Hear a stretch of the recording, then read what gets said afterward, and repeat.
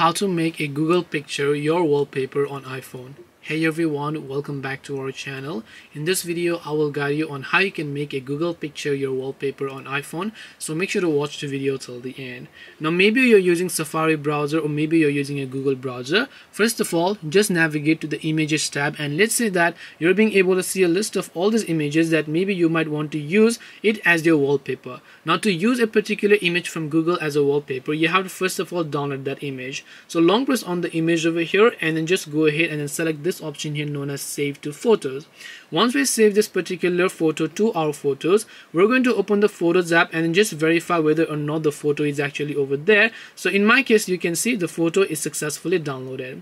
Now what we do need to do is we need to simply swipe down our lock screen or maybe go to the lock screen panel and then just long press on an empty space here.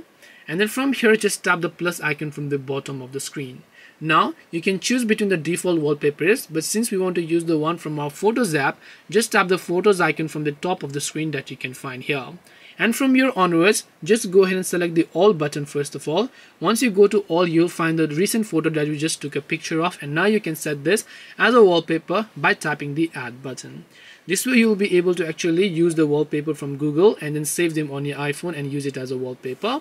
Hope this video was very helpful. If you have got any questions then feel free to also leave them down below. Thank you for watching till the end of this tutorial and see you soon in our next video.